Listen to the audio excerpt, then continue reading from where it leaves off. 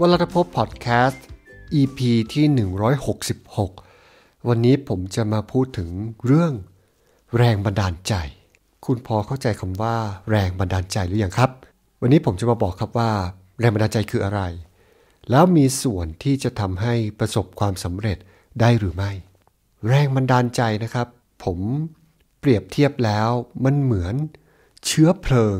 หรือเหมือนแสงสว่างเหมือนไฟฮะ ให้คุณลองนึกดูนะ เหมือนคุณจะ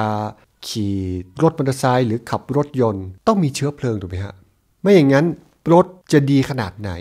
ซื้อมาแพงขนาดไหน ไม่มีเชื้อเพลิงหรือว่าไม่มีน้ำมันนะครับหรือไม่มีแก๊สไม่มีไฟฟ้าหรือว่าอะไรก็แล้วแต่นะครับมันก็ไม่สามารถที่จะเคลื่อนที่ได้เลยถูกไหมฮะเพราะฉะนั้นมันเหมือนคนอะคนเรานะครับเมื่อไหร่ไม่มีเชื้อเพลิง ไม่มีไฟจุดประกายเนี่ยนะครับ มันก็เหมือนแบบขาดวิญญาณขาดอะไรไปเลยนะครับ คุณน่าจะต้องมีประสบการณ์บ้างแหละนะครับ ที่แบบว่าเจอวันที่เหงาหงอย ไม่อยากทำอะไรสักอย่างนะครับ บางคนอาจจะเป็นมาหลายปีแล้วก็ได้นะครับ ก็เพราะว่าไม่มีเชื้อเพลิงที่ผมบอกนี่นี่นั่นเองนะครับ ซึ่งมันก็เลยถูกเรียกว่า แรงบันดาลใจนั่นเองนะฮะซึ่งทั้งหมดนี่แหละครับ มันจะช่วยทำให้คุณใช้ชีวิตได้ แล้ว เดินทางไปสู่จุดหมายได้ไงนะฮะก็คือเดินทางไปสู่ความสำเร็จดังที่ตั้งใจไว้นั่นเองนะครับเช่นเดียวกับรถนะฮะเมื่อมีน้ำมันนะครับคุณมีน้ำมันหรือว่ามีไฟฟ้าหรือว่าอะไรก็แล้วแต่นะครับ เวลาที่คุณมีเป้าหมายว่าคุณจะขับรถไปที่ไหนนะครับ คุณก็เติมมันไปเรื่อยๆ จนมันไปถึงปลายทางถูกไหมฮะเออมันก็ถึงแน่นอนแหละนะฮะถ้าเกิดคุณคุณตั้งเป้าว่าคุณจะไปชีวิตของเราเองก็เช่นเดียวกัน แรงบันดาลใจนี่แหละครับ มันช่วยได้นะครับไม่ว่าคุณจะทำอะไรก็ตามคุณไม่มีแรงบันดาลใจแล้วคุณไม่อยากทำแน่นะฮะแม้กระทั่งเรื่องเล็ก ๆ น้อยๆนะ เช่นคุณแบบว่าจะต้องไปเดินห้างเนี่ยนะฮะเดินห้างเพื่อที่ว่าจะไปซื้อของเนี่ยนะยังต้องมีแรงบันดาลใจเพื่อที่จะไปเดินห้างเพื่อซื้อของเลยนะ เพราะเมื่อเกิดถ้าถ้าเกิดว่าคุณไม่มีแรงบันดาลใจจะไปซื้อของ คุณก็จะไม่ออกจากบ้าน คุณก็จะไม่อยากเข้าห้าง ไม่อยากซื้อของ แต่เมื่อไหร่ที่คุณคิดว่า เอ้ยโอเค ฉันจะไปซื้อออรองเท้าใหม่นะครับ ตรงนั้นเพื่อที่ว่า เออฉันจะเอาไปใส่ออกงาน จะเอาไปใส่อะไรก็แล้วแต่ มันทำให้บอกโอ้ฉันจะดูบุคลิกดีขึ้น ฉันจะดูเป็นที่น่ายกย่องมากขึ้นพวกเนี้ยนะครับ มันก็เกิดแรงบันดาลใจที่จะเอาตัวเองไปใช้จ่ายได้เหมือนกัน เออเอาง่ายๆเลยมันเหมือนน้ำมันกับชีวิตของเรานั่นเอง ทีเนี้ยแรงบันดาลใจฮะมันเกิดได้จากอะไรบ้าง ซึ่งผมเองแบ่งเป็นประเภทใหญ่ ๆ อยู่ 2 ประเภทนะครับ ประเภทแรกก็คือแรงบันดาลใจที่เกิดมาจากสิ่งอื่นที่ไม่ใช่ตัวคุณเองนะครับ เช่น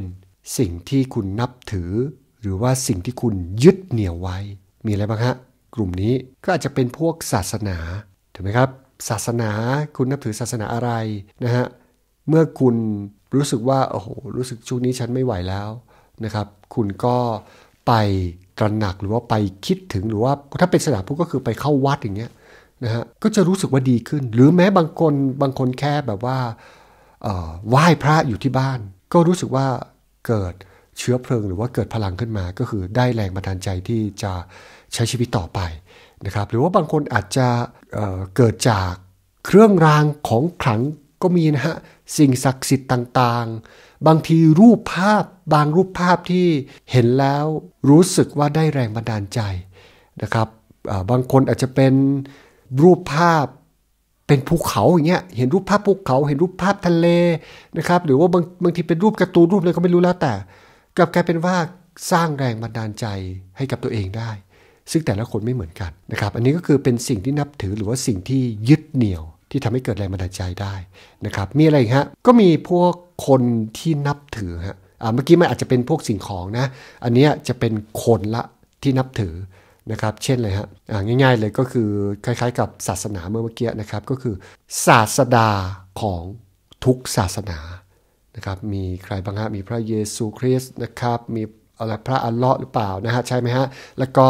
มีพระพุทธเจ้าหรือว่าอะไรพวกเนี้ยนะครับคนที่นับถืออยู่นะครับมีความศรัทธาอยู่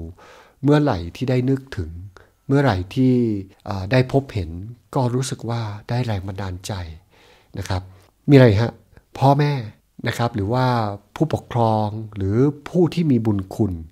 นะครับหรืออาจจะเป็นแฟนก็ได้นึกถึงแฟนแล้วรู้สึกว่าโอ้โหพลังมาทันที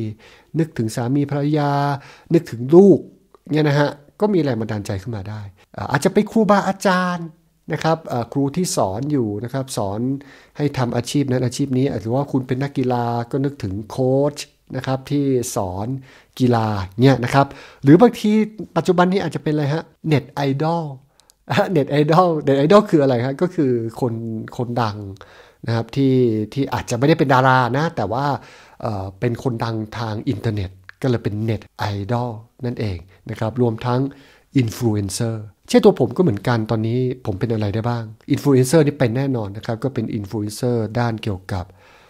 การทำธุรกิจนะครับ เพราะผมมีประสบการณ์การทำธุรกิจไทยจีนมา 14 ธุรกิจนั่นเองนะครับ โดยเฉพาะเดี๋ยวนี้ผมจะเน้นไปที่การทำธุรกิจออนไลน์นะครับ ผมก็เป็นอินฟลูเอนเซอร์ด้านนี้นะครับ บางคนคอมเมนต์มาก็บอกว่าผมเป็นเน็ตไอดอลด้วย ซึ่งมันก็ได้เหมือนกันนะครับ เพราะว่ามีชื่อเสียงทางอินเทอร์เน็ตอ่ามีไหมฮะ ก็พอมีบ้างนะครับ ก็บางคนใช้ผมเป็นแรงบันดาลใจก็ได้นะครับ เช่น โอ้โห